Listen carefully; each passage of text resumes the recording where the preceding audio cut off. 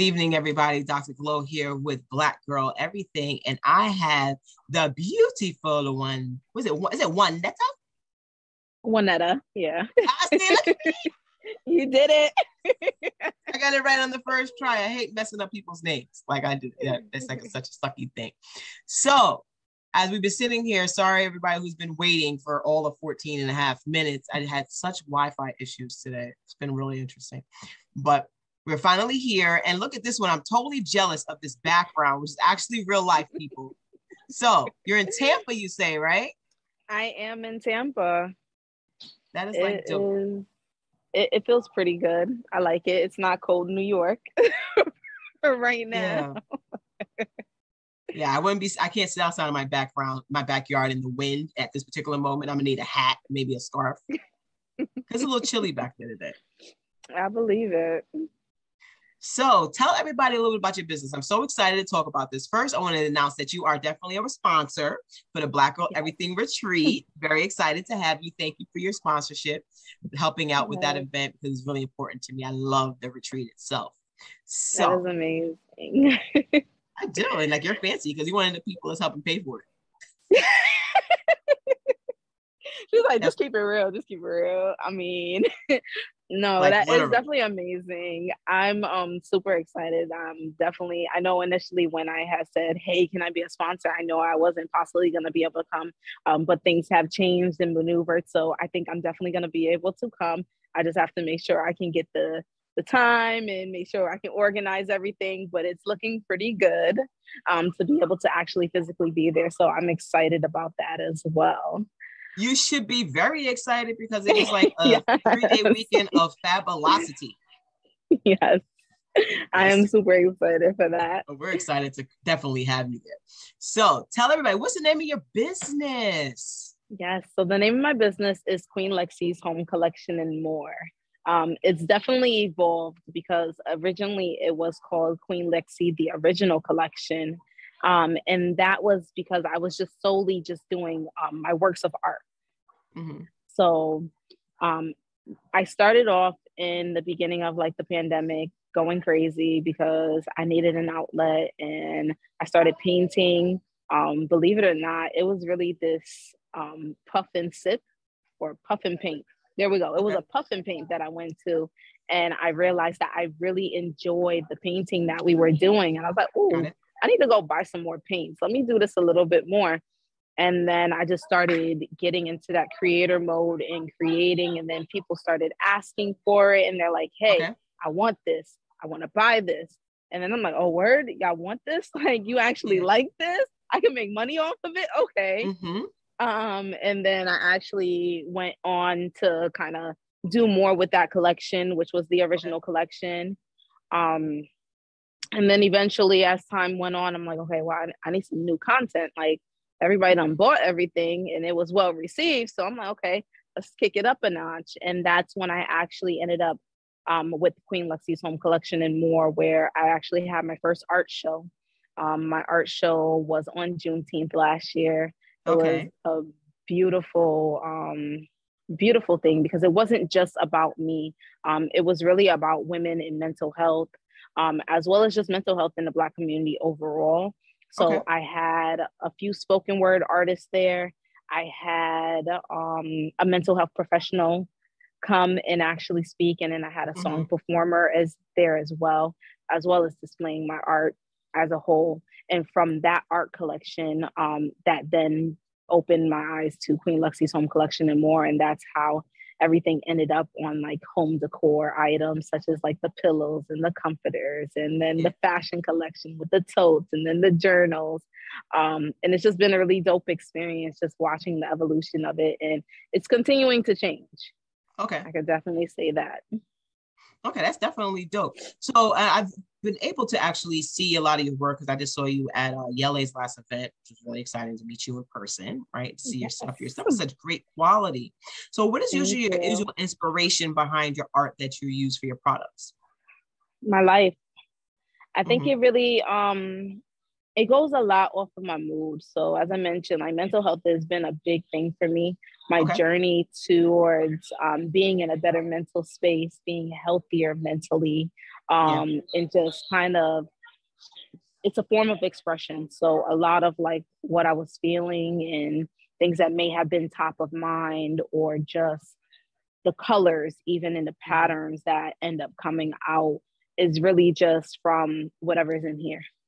Got it. Um, and it just goes from there. I think I do take a lot of inspiration as well, just looking at other artists because I love abstract art. Um, okay. That's more so my niche. Mm-hmm. And just playing with that abstract art. And then now I'm actually getting into more digital and liking to play with the digital side of it because I'm very okay. technical mm-hmm. as well. Um, and yeah. Okay, dope. So, are you currently collaborating with other artists as part of your collection as well, or is it just really just the stuff that you're creating? So, right now, I'll be honest, I've actually taken a bit of a hiatus. So, a lot of people haven't seen any new works. Um, I've really just taking a pause and taking that break to actually be one with myself and um, be in a better mental space. Um, okay. It's been a lot going on and happening. So I have not been able to collaborate. Um, one of the last collaborations I did actually is with one of my best friends. He's a song artist, was actually mm-hmm. one of the performers at my art show. Um, he's going into the NFT space and he was looking mm-hmm. for artists to commission work from for his album cover. So yeah. that was like one of the last um, collabs that I did before deciding to take this bit of a hiatus um, from okay. the business for the now so that I can like recollect and figure out what the next steps are. Yeah. So where do you see yourself going with it at this point as you've been taking this moment to think through your process?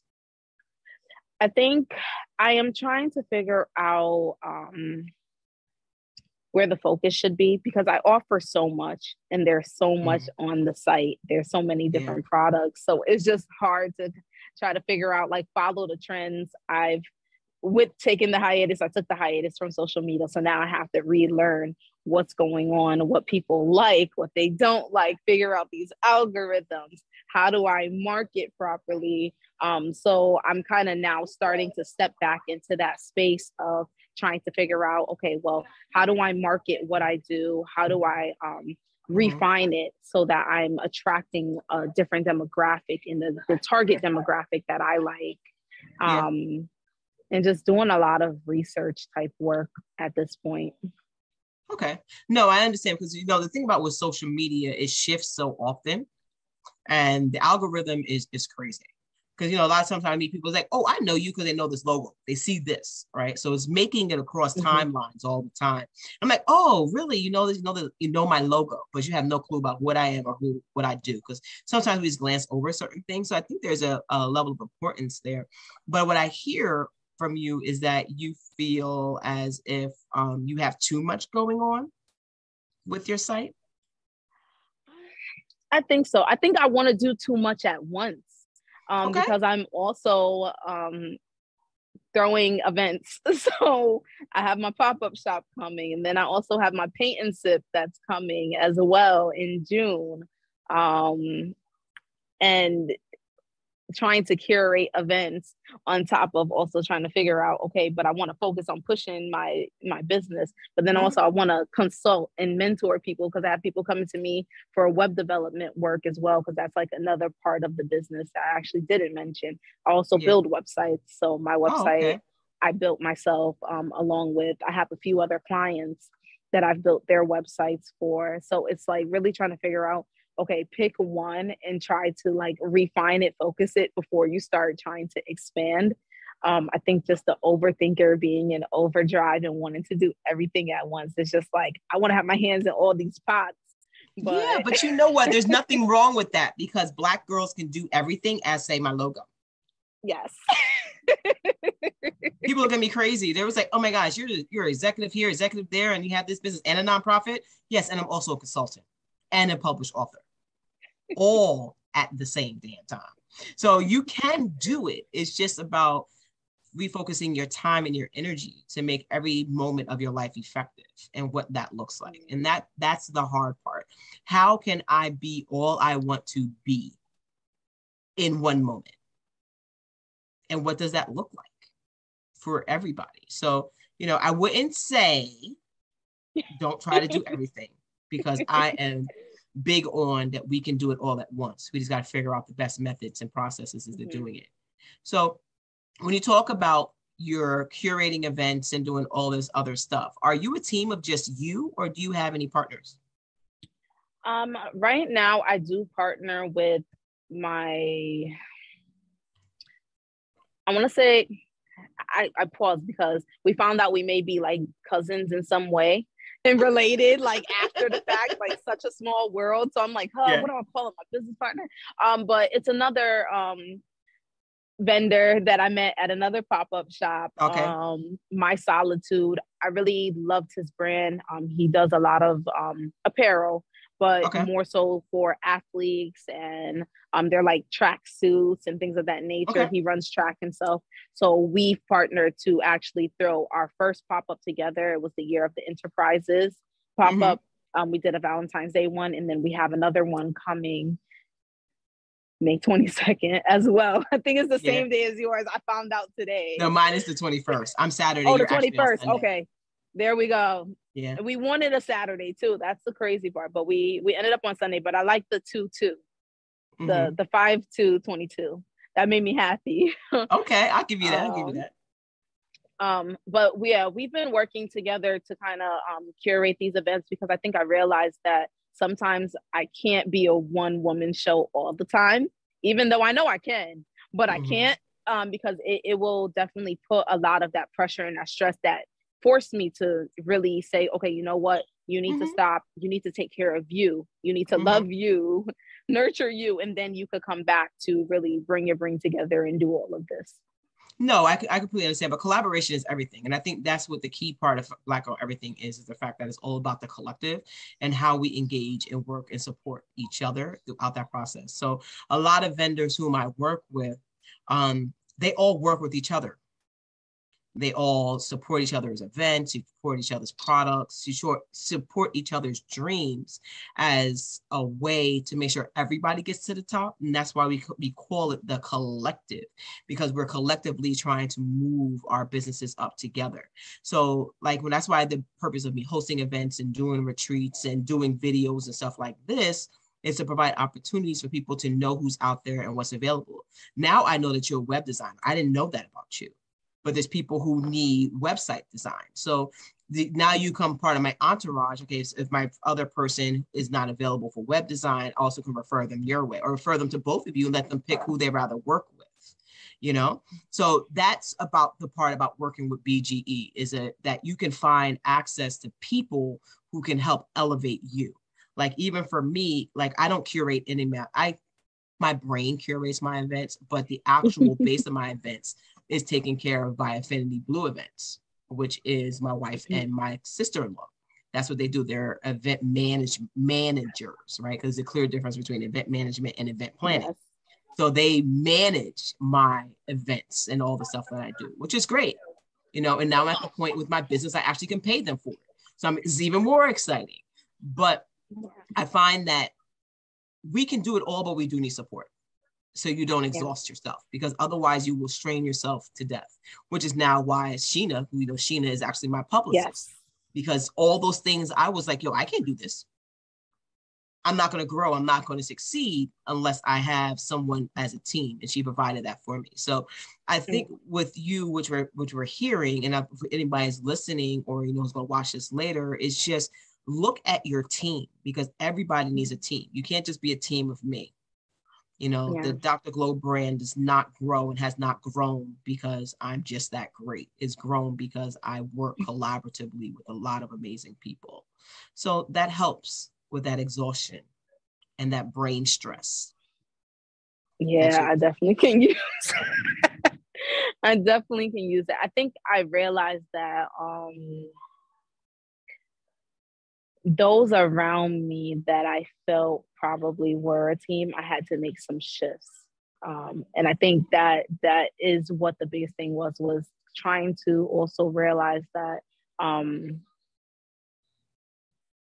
trying to word this and not be too not if you don't go forward, straightforward, be straightforward. I mean, people people are just not they're not in they're really not there in your corner the way that um Yeah. They say that they are. So the mm-hmm. support that some people think that they're giving is not truly actually support in the way of yeah. which that they think they're supporting you. They're not, and they're not really helping.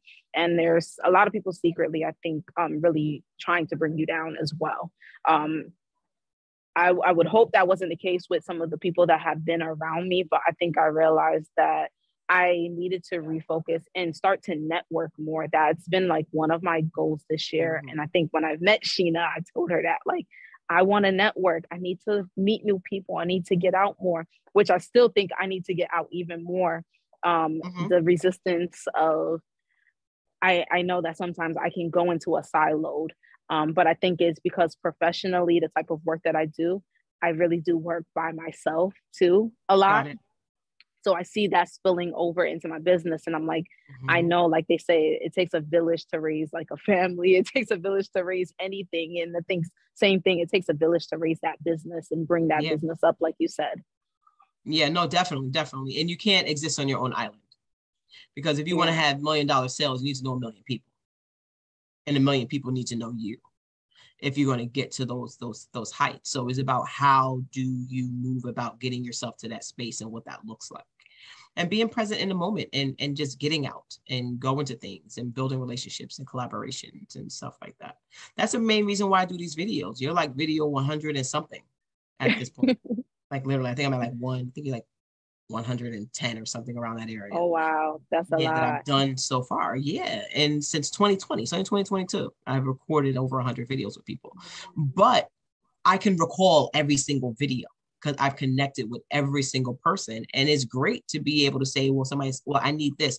Oh, oh, go to season three, episode two, and they're gonna have what you want. Go to my YouTube mm-hmm. channel, you can find it and stuff like that. Because I've had such a variety of people, but it's all about that you know, I'm I'm a, I'm a, a cancer. So first of all, I'm a crab. I like being in my shell. I like hiding all the time. But if I'm going to make this flourish, I got to be out there. I got to show up and be present.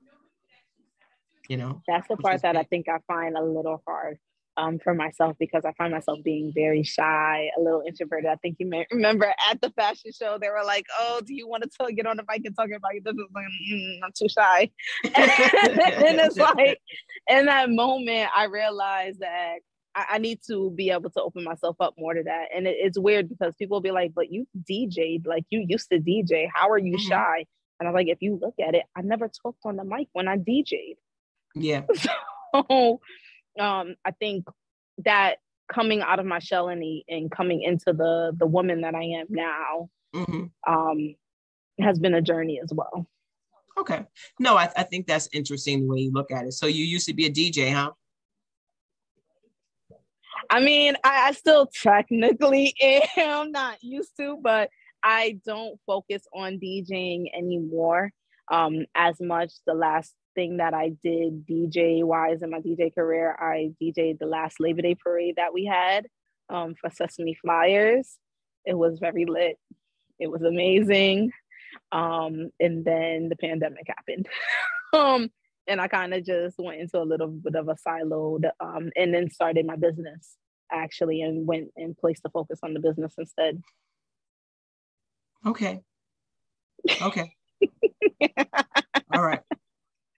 I'm, I'm just going to absorb all this information about you and then pull at your strings about things that I'm going to make you do out. That's what's going to happen. Okay. I'm going to set you up. You're going to come by, come by an event. I'm like, oh, she's getting on right now. I'm like, well, that's what's going to happen because I, I love seeing it would be lit though. It would be lit. Yes, I, yeah, so stop playing that. around. it's funny because someone actually um was like, "Oh, can you make a mix? I was like, but you know how. They were like, no, but I want you to make it. I was yeah. like, well, I don't have a lot of the new music because they wanted me to make a soca mix. They're like, oh, okay, no problem. Check your email. I was like, oh man, I don't got no more excuses. so, I now have been tasked with um, making a new soca mix, so that is going to come soon. But um, that is another outlet for outlet for me of expression of emotion and um, playing music and uh-huh. I- am better than a lot of male DJs out here. I'll just put that out there. Um, I think for me, it was just also the politics of it. And I say that all the time. It's just yeah. being a female DJ was extremely hard when you don't have the right people in your corner for the right reasons. And a lot of people who do end up making it and doing going far female wise, sadly, their names are spoken about and you hear negative things about them. And I okay. never wanted to be that person or be that type of person in that space because okay. that um that carnival scene and that soca scene, while I love it, it's amazing, it can be very toxic. Hmm. So and is I, that I your niche toxic. within it, like that whole Caribbean based music? That's your thing. It is. Yeah. Oh, so you is. so you go for for a good bashment.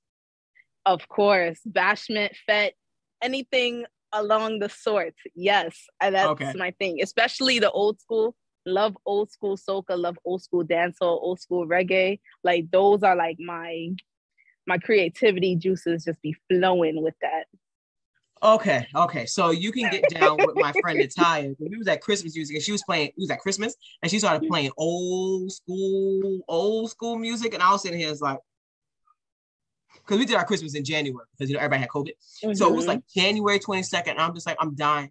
It's like Friday night. I, what are you doing to me with this right now? What are you doing? This is not the yard in 1965. Like I'm, I'm dying, literally. But yeah. So she would love you. oh well, when I say old school, I don't mean that that old, but you know, as old as me, I could possibly old. get. it is, but you know, a lot of the music was a lot more authentic then, and it has changed dramatically. Like I yeah. personally, even the new soca, I it takes me a long time to get into the groove of it, really get into it. Um, okay. And same thing with the new dancehall. I don't to like the feel of it or okay. like how it sounds or what they're necessarily um, singing about or uh-huh. talking about in the lyrics. So it, it's harder to connect. So I default to the older music because it's classical and everybody will always vibe to it. Okay, so like who are some of your favorite artists?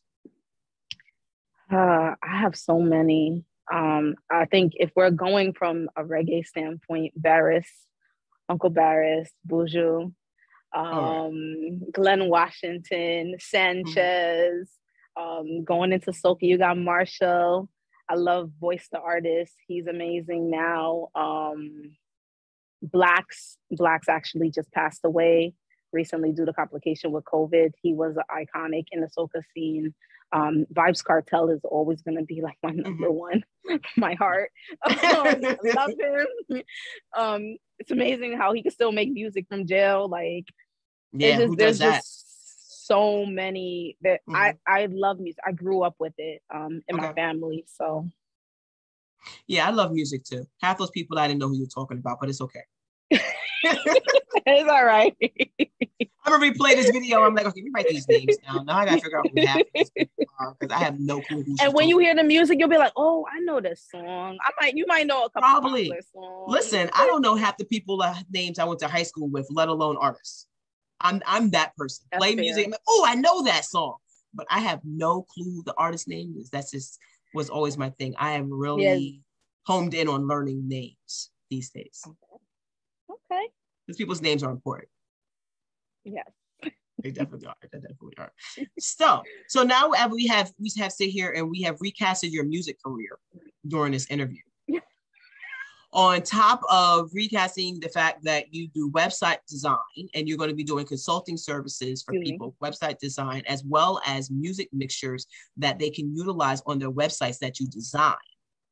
On top okay. of your collection of all your products that you have, that has great music that you have mixed into your actual YouTube channel that's going to align music with your home decor. How do you feel about all of that? that sounds great. I know. That's what I do in five minutes.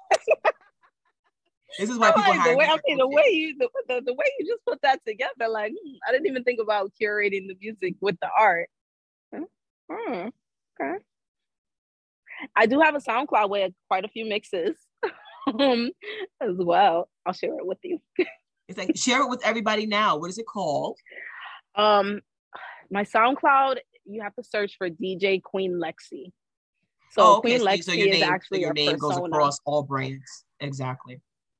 Mm-hmm. My name is my that persona that was created. Okay, Queen Lexii. Sitting here playing around for all this talent, sitting on it.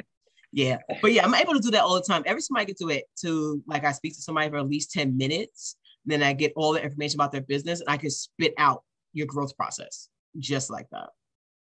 That's a creative in me. 100%. 100%. And then I usually am able to curate at least 15 events, pass off what people say, which pisses my event management team company off all the time because after my interviews, I'm like, we're going to do this. And I'm like, God damn it. what is she talking about now? Listen, okay, I was inspired. So now is what we're going to do. I definitely, definitely, definitely. So, how can people find you to book you for all their great soca parties this summer? Because everybody's outside. Oh yeah, we outside. Um, they can find me via Instagram at Queen. Mm-hmm. Um, see, I always struggle with this because sometimes I don't know when to use my personal versus my my business page. So I use both. Okay. Um, especially more so when I'm reaching out to others too. So my personal Queen Lexii, it's Q U E three N L E X I I. Mm-hmm. Um, and then Queen Lexii and spelt out with the two eyes dot toc and those are on instagram. And then also um, via email as well at ql mm-hmm. consults inc at mm-hmm. gmail.com okay dope. Amazing. You're not on facebook? I am on facebook um personally? more so not business wise yeah. Yeah okay. it's been more the business one is there however it's connected to my instagram mm-hmm. um so everything that gets posted on instagram gets posted directly to the facebook so you can mm-hmm. search for um queen lexii's home collection and more okay and they'll be able to find um, more information there as well okay what about your tiktok it is the same as my instagram that's q-u-e-3-n-l-e-x-i-i um you'll find quite a few of those videos. You might find a couple videos of my dog. We I, I kind of share my page with him. Oh, wonderful! Is it travel of you and your dog? What's your dog's name? Teddy. Hi, Teddy. My, my I'm gonna check Teddy out on TikTok.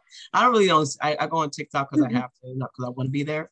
Um, because I'm still trying to, to, get into it. I, yeah. I'm trying to understand it you know, between Facebook and Instagram, those is my things. Like I'm there every day, all day. I can exist there. TikTok is kind of like, yo, you got to remind myself. I got to put an alarm on my phone. Go post on TikTok because it's not like I don't have the content. Mm. I just mm. don't go on it. Um, mm. but yeah, I'm gonna fix that. So I said that out loud, so I gotta fix that, right? I think I'll make a mental note to do that as well. I, am trying to also become a little bit more personal, personable, and show a little bit more about um, myself and what I do because I, I shy away from the camera a lot. I actually yeah. do not take a lot of pictures. I don't post videos. I don't go live. Um, and it's just that shyness of kind of like putting yourself out there and things like that. But I'll, if someone asks, "Hey, do you want to do an interview?" Yeah, sign me up. I want to do it. like, and I'll get all yeah. excited and happy to do that. But then I'm like, why can't I do it by myself, just on yeah. my own? Yeah. So, you know, you really just want to kind of think about where that's coming from and what's causing you to have that um, that lack of interest to want to get that done and what that looks like and why, right? What is drawing you not to want to to have that act or people have that access to you? For what reason? Uh, I don't know. I, I think reasons. I want I want to say I've always been like a behind the closed doors kind of person. Like I like to yeah. be the person behind the scenes. Uh-huh. Um, but I realized in having a business, you can't be behind the scenes because nobody's gonna know about your business. Yeah, so, how are we gonna learn about who you are? I, that, that's why I'm I'm I, am i am trying. I'm slowly trying. I, I I gotta try some more. Try a little harder. I think yeah. also I realized that um my I fear my um professional life getting in the way um, because of my job. Mm-hmm. And I, I think I sometimes get scared of what perceptions people may then have or may see if like you see me post a certain thing. Like I don't even party and go out as much anymore. So I become more conscious about what I'm posting to the point that I get scared to even post like myself at all if it's not business mm. related. Understood. Understood. I get that because we're all scared of judgment. Yeah. And, and yeah. then I, I work for um corporate company, large corporate company now for the mm-hmm. past year, going on a year now. I work for Morgan Stanley. So oh, you're been... not posting anything. Now you see why. Because you can't. You can't. You no, really and I get can't. you. And I get you. So, you know, my content exists of me going for a walk, my jobs, construction on my yard, everything else. Friday night turn up is private. Yeah. Because it has to be, because social media is out there. And we all know yeah. we can see what people post on social media can be come out to be access, accessible to real life real quickly. So it's really important that we watch what we're putting out and what people see and what people are exposed to because we can get ourselves caught up out there. So I, I respect it. I totally get it. You know, just, you know, continue to post about Teddy. People are going to love Teddy. they do. He's a whole mood. He was so sad yesterday. He has his own Instagram as well. It's Teddy McTedster. Teddy dot McTedster. Yeah, there we go. Teddy dot McTedster. He has a whole Instagram. He's mm-hmm. a whole mood. Gorgeous little pup. I'm so excited that you have such a loving relationship with your pup. I, I do. He he's mommy's little baby. Like he legit got so mad at me last night um as he saw me packing to leave and he's like, "You just left me." And I packed his little bag of his toys to take to the dog sitter and he kindly unpacked his bag and took everything out and then stuck his tongue out at me. It's all documented on his page. so he's a whole personality mood. He's very smart, super intelligent. Um, mm-hmm.